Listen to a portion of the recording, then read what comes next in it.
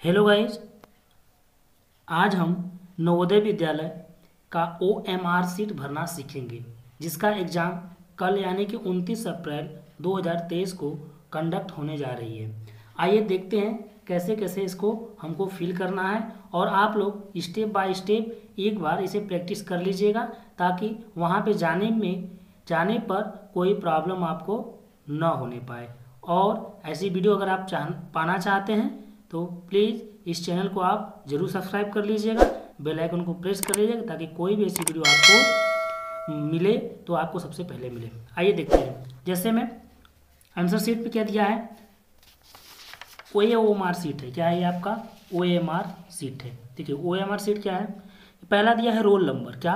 Role number फिर अभ्यर्थी का नाम दिया है, फिर पिताजी का नाम दिया है। तो इसको हमको फुलफिल करना है। जैसे रोल नंबर क्या है? एडमिट कार्ड में देखिए एडमिट कार्ड में रोल नंबर या अनुक्रमांक नंबर तो एडमिट कार्ड में रोल नंबर कहाँ है? यहाँ पे है। ये आपका रोल नंबर है। ये आपका रोल नंबर है। ठीक है? क्या है? आइए फिल करते हैं इसको। यानी कि अब यहाँ पर फिल करेंगे। इसमें फिल करते हैं तो अनुक्रमांक नंबर क्या है आपके? तो अनुक्रमांक नंबर अब हम फिल कर लेते हैं। देखिए रोल नंबर यहाँ पे फिल कर लिए हैं। ये ध्यान रखना है कि सारे को जो हम फिल करेंगे, उसको बाल पेन का यूज़ करके ही फिल करेंगे। तो बाल पेन मतलब कि कोई भी पेन हो सकती है। बाल पेन यानी कि नीला और गुला नीला और ब्लैक पेन बाल पेन क्या होना चाहिए? ये आपकी, ये भी पेन आपको बाल पेन के रूप में ही मानी जाती है, ठीक है? तो ये भी बाल पेन है, इसका भी आप चाहे तो अभ्यर्थी यूज़ कर सकते हैं। उसके बाद यह अभ्यर्थी का नाम बड़े अक्षरों में, पिताजी का नाम बड़े अक्षरों में तो जो नाम दिया रहेगा, वो हम यहाँ पे फिल कर लेते हैं। क्या करते हैं? जो नाम दिया है, वहाँ आपको हम फिल कर लेते हैं। तो आइए फिल करते हैं। देखिए, नाम को कैपिटल लेटर में भरना है, नाम मैंने भर दिया है, अब पिताजी का नाम भी कैपिटल लेटर में भरना है, जो एडमिट कार्ड में दिया हो इसके भरने के बाद अब मेन क्या आता है ये बॉक्स भरना क्या? मी बॉक्स भरना। जो रोल नंबर है, यानी कि one seven three two one seven two अगर ये आपका रोल नंबर है तो इसको हमको वन के सामने, इस वन को हम सर्कल करेंगे इस टाइप से। फिर सेवन के सामने सेवन को जैसे सर्कल किया गया है, इसी तरह यहाँ पे थ्री को किया गया है। ये फिर टू को किया गया है, फिर वन को किया गया है, फिर टू को किया गया है, फिर यहाँ पे देखिए सेवन को किया गया है। तो इस तरीके से हमको ये सब चीज़ हमको बहुत अच्छे तरीके से भरना है। कोई भी देखिए गलती ना होने पाए।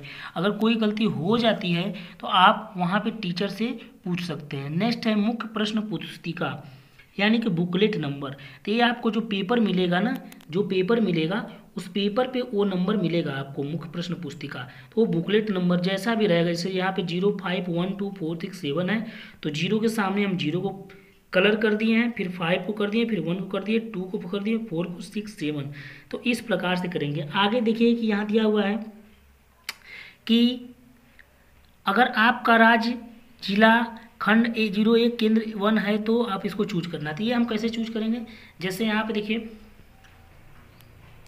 स्टेट उत्तर प्रदेश है डिस्ट्रिक्ट चंदौली। चंदौली का कोड कितना दिया है? फिफ्टी सिक्स दिया है। ब्लॉक नियमताबाद है, उसका सेवन दिया है। फिर उसके बाद स्टेट का भी दे दिया है। तो इस तरीके से हम कोड को चुन कर, चूज़ कर लेंगे। जैसे स्टेट का कोड कितना है, जो हमारा कोड है, उसको डाल देंगे। जैसे ज़ीरो तीन है, लास्ट का डिजिट डालना है क्या? लास्ट का डिजिट डालना है। यानी कि ट्वेंटी फोर है तो ट्वेंटी फोर हो जाएगा यहाँ पे। फिर डिस्ट्रिक्ट का कोड कितना है? डिस्ट्रिक्ट का कोड कितना है? फिफ्टी सिक्स तो फिफ्टी सिक्स हो जाएगा। ब्लॉक का कोड कितना है? ज़ीरो सात तो ज़ीरो सात है। सेंटर का कोड कितना है? तो सेंटर का ज़ीरो वन है तो ज़ीरो वन। जैसे में यहाँ देखिए आप लोग जैसे पहला दिया स्टेट स्टेट कोड क्या है? उत्तर प्रदेश जो स्टेट कोड है वो आपका स्टेट यानी कि ट्वेंटी फोर। यहाँ पर जैसे कि ट्वेंटी फोर हो गया, क्या हो गया? Twenty four. तो इस तरीके से हम ट्वेंटी फोर यहाँ पर फिल कर देंगे। क्या फिल कर देंगे? ट्वेंटी फोर फिल कर देंगे। ठीक है? अब यहाँ से फिफ्टी सिक्स ज़ीरो सेवन उठाकर इस सारे ब्लॉक में हम डाल देंगे। उसके बाद नेक्स्ट पेज पे, देखिए नेक्स्ट पेज पे क्या है आंसर सीट है? अब आंसर सीट कैसे हमको फिल करना है? क्या?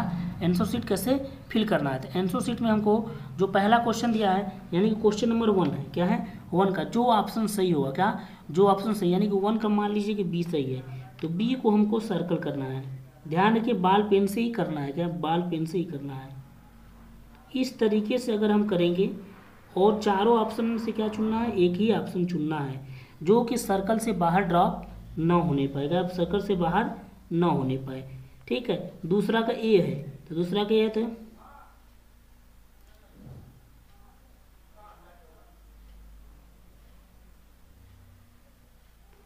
इस प्रकार से आप सर्कल करके पूरे क्वेश्चन को अच्छे से करिएगा और कोई भी अगर समस्या आपको आती है तो आप तुरंत टीचर को टीचर से बात करके उस समस्या का अपना समाधान कर सकते हैं। ओके तो आपको सारा चीज़ समझ में आ गया होगा, अगर कुछ नहीं भी समझ में आता है तो आप कमेंट करके पूछ सकते हैं। थैंक यू धन्यवाद।